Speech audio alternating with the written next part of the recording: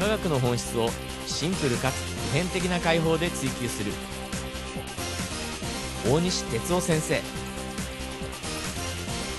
主な担当講座はスタンダード科学12です。入試問題ではあるんですが、えー教科書に載ってない電池ですねこれ。これ名前ありません。この電池ね。何電池って言われてもえー、名前なんかないよって。実験室で勝手にこしらえた電池です。これはね。はい。でまあそれに関する問題でね。でちょっとここでねさっき言った酸化剤と還元剤をねセパレートする仕組みとかね。そういったことをちょっと考えてみたいわけですね。これを使ってね。はい。でそれでまずねえーっと1個目の電池なんですがちょっと見てくださいね。よいしょ。はい。これですね1番。ね。はい。でまずねここ硫酸酸性のカマンガン酸カリウム水溶液ね。硫酸酸性のカマンガン酸カリウム水溶液いいですか？それに白金板を浸してます。白金板ね。でこっちは臭酸水溶液。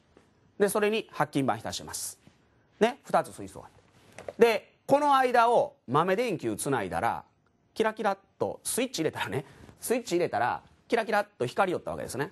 あ電池やんって言ってね。はい電池できましたって。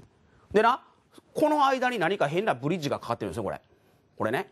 でこれは、えー、硝酸カリウム水溶液を寒天で固めたものって言ってね。塩鏡っていうんですけどねこういうのね。塩鏡はい。でこういう装置を作って豆電球を光らせたわけですよね。いいですか？それでまあ問うていることがですねまずね化学変化ですね。どんな変化が起こってるんですか？で当然な豆電球が光ったっていうことはここを電子が走ってるわけでしょ。電子がピューッと走ってるわけでしょ。ただどっちからどっちか分からへんけどね今。ね。とにかく電気流れたんですよね。電気流れたんですよね。いいですか？はい。でそれでじゃあどんな変化が起こったか書きなさいと。だから当然酸化還元反応が起こったからね酸化還元反応の反応式を書くんでしょうけどもまあそういうことを聞いてます。それからどっちが正極ですか？2番目。どっちが正極ですか？つまりねここのところですね。この端子のところですね。つないだとこ。ろここ。ここ。ね。どっちが正極ですか？でこれはさっきの定義を思い出してや正極っていうのはどういうものでしたか？電子を受け取る電極ね。電子が流れ込む電極やで。